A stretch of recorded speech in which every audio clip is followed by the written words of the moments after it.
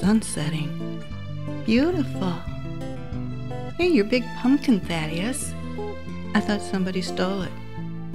Well, let me tell you what happened the other night. You know, Maestro loves to growl, so I let him out to prowl. But soon I heard a cry come from my garden just nearby. I took my flashlight from the shelf and thought, I'll check this out myself. My pumpkins, they could win a prize, why some were monstrous in size. And as I stood, I noticed where my biggest pumpkin was not there. Whoa, I thought, a pumpkin thief. I searched the garden in disbelief. Then I heard Maestro's shrieking cries beyond the hill I just passed by. Slowly sneaking up the side, I found a place where I could hide.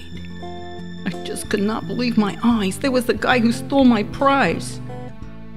Maestro growled, he clawed and chewed. He held fast to this ornery dude. The thief was guilty. He yelled and fought. He stole my pumpkin, then got caught. I was only joking. What's his lame excuse? Can I forgive this sore abuse? But Thaddeus, you must forgive him. So I relent. But Maestro, he might never repent.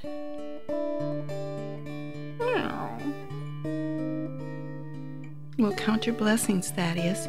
You still have your big pumpkin. Let's enjoy the fall colors while they're still here.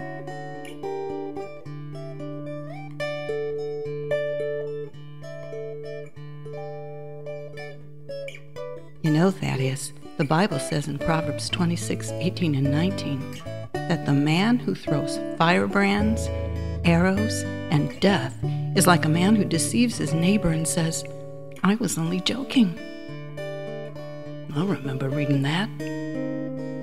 But Jesus says to forgive even your enemies and to pray for them. Well, thanks, Jonas. You hear that, Maestro?